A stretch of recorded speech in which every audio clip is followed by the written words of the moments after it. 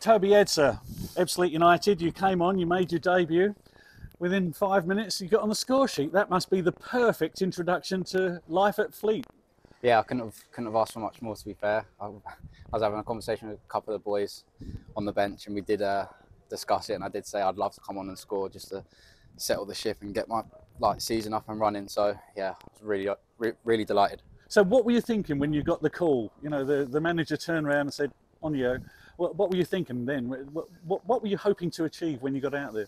Well, first of all, I was just excited, it's like pure excitement to come on because I was injured at the back end of last season, so it felt like I hadn't been involved in a match day for so long. Um, so yeah, excitement and just relax really. Um, I knew what I had to come on and do, um, knew my roles, knew my responsibilities, and I just went tried to go out there and enjoy it, and I did.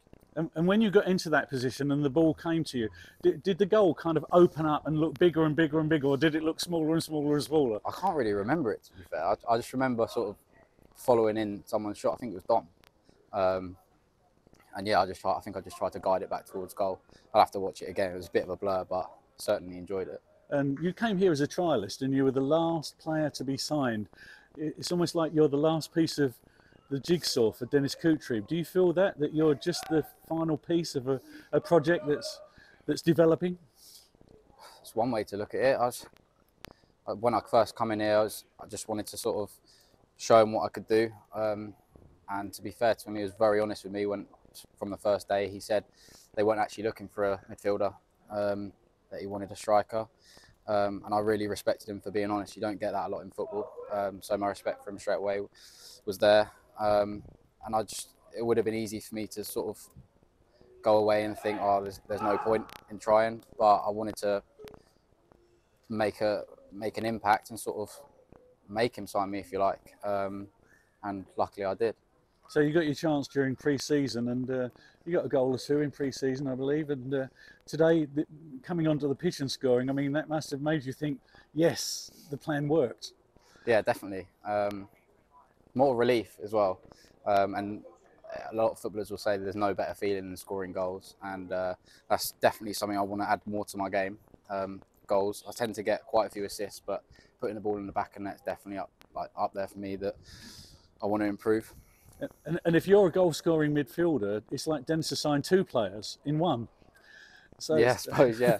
well, if I can give him that, I'm sure he'll be over the moon. And you seem to be one of several players in the side that are, are very good link players, you know, between the defence and, and, attack. Your, your, midfield role is very much, uh, uh, you know, bringing that all together so the ball is turning over all the time. And, and, and there's, there's a lot of talent out there, isn't there? Yeah, the, the talent in the squad is, is very good. Um, I was speaking to the manager the other day. I think if this team could compete in the league above, um, right up there competing for the playoffs. So um, there's no excuses this year. Like I said, the, the, the talent's there. Um, you just got to put it into practice and, and, try and grind some results out. So, what is the, a win on the first day of the season? A 3 0 win. Okay, it was against 10 men in the end, but you can only beat what's in front of you. What, what does that do to the confidence and, and the conviction that you, are on the right track? The confidence is, is always there anyway. Um, we, we, believe that. We believe we've got the, the ability in the squad. Um, but yeah, it is nice to win on the opening day, obviously, um, and then steady the ship if you like. Um, but now we, we can just look to next week and uh, try and repeat it. Feeling at home, feeling comfortable? Definitely. And the fans took to you? I think so. I hope so. Well, I think after scoring, they're going to, aren't they?